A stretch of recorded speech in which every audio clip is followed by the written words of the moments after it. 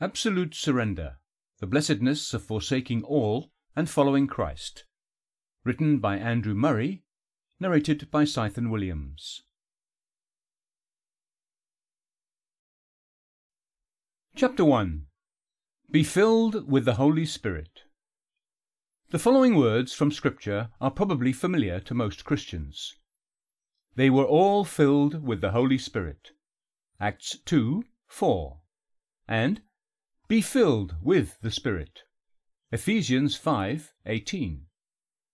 The first text is a narrative. It tells us what actually happened. They were all filled with the Holy Spirit. The other text is a command. It tells us what we ought to be. Be filled with the Spirit.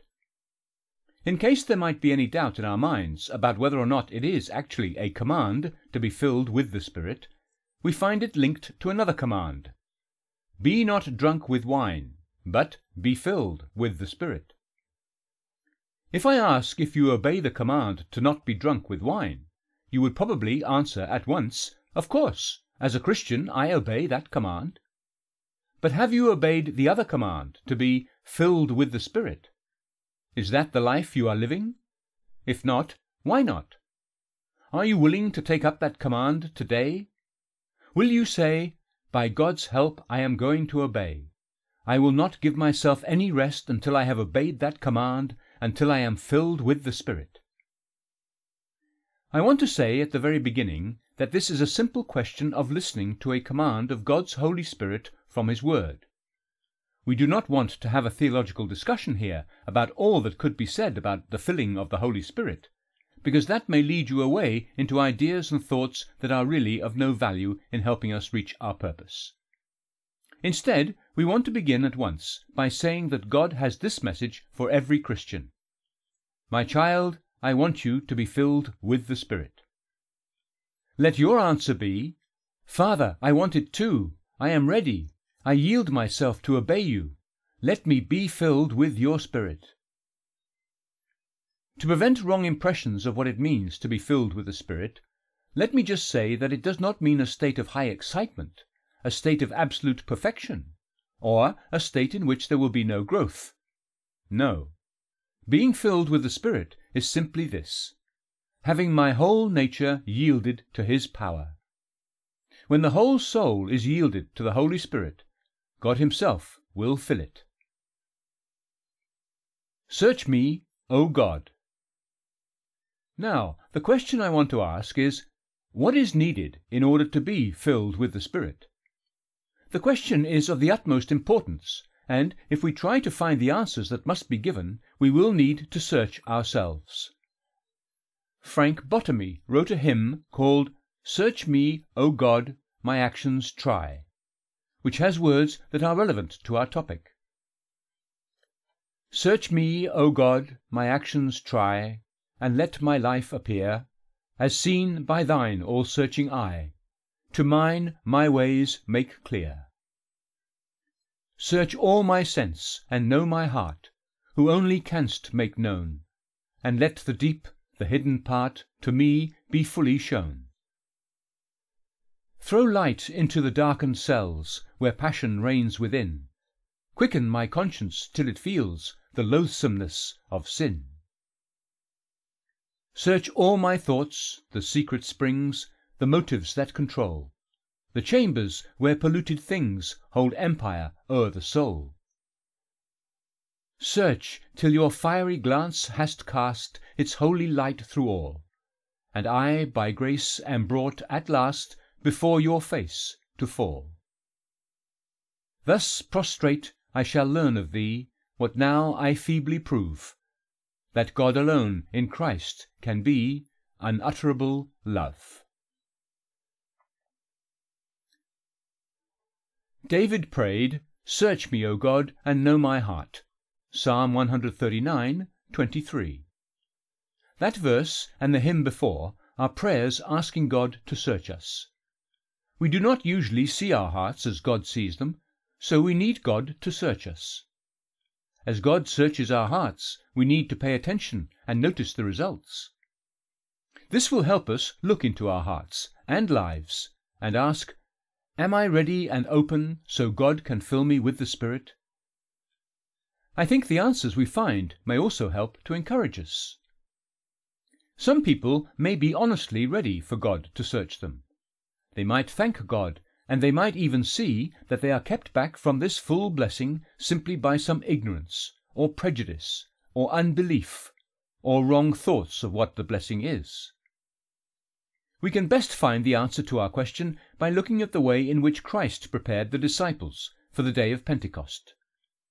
In some countries, when a missionary preaches and leads people to Jesus, the missionary forms a class for these new Christians to teach them God's Word, make them disciples, and prepare them for baptism.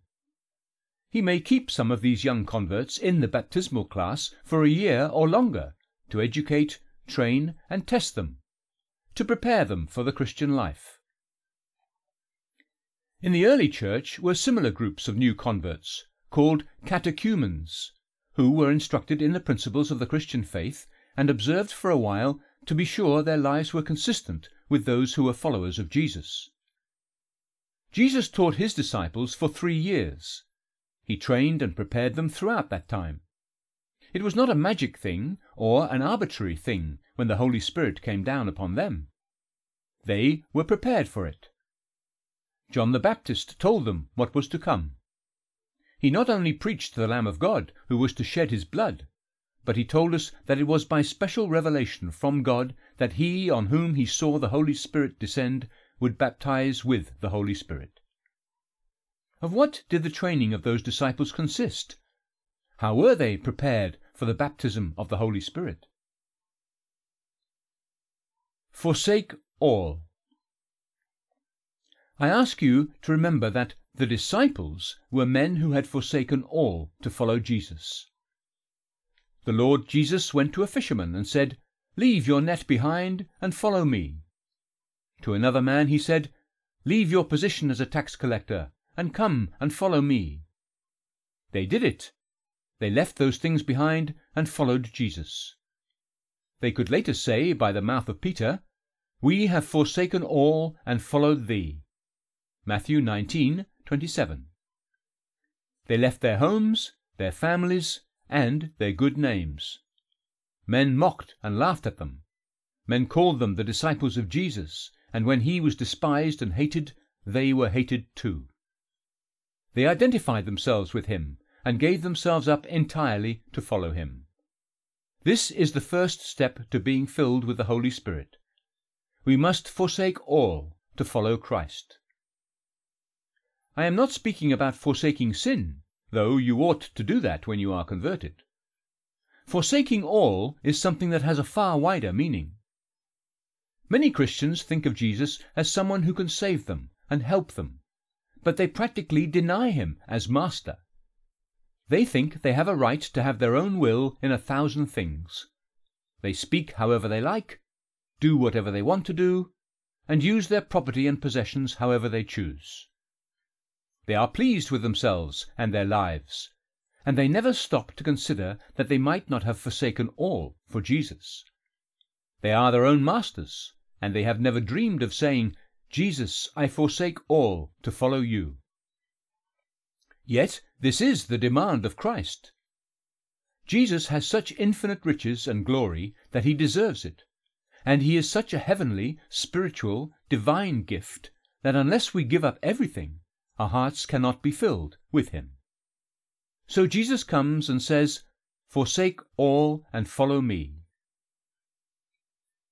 I was once at Johannesburg, South Africa, at a convention. Let me share just one simple story of what has been done there in God's kingdom.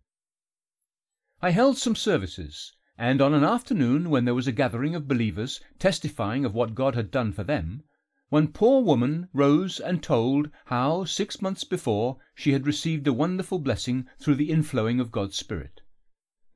At a consecration meeting which she had attended in a very poor neighbourhood, the minister who gave an address asked if there were any ready to give themselves up entirely for Jesus. He used the words, Suppose he wanted you to go to China, or to give up your wife and children, would you be willing to do it? The woman said earnestly, I did want to say that I would give up everything to Jesus, but I could not. When he asked those to rise who were willing, I was in a great state of turmoil, but I could not remain sitting. I rose and said, Yes, I will give up everything. Yet I felt as if I could not give up my husband and children. We hope you enjoyed this preview. To continue listening to this audiobook on Google Play Books, use the link in the video description.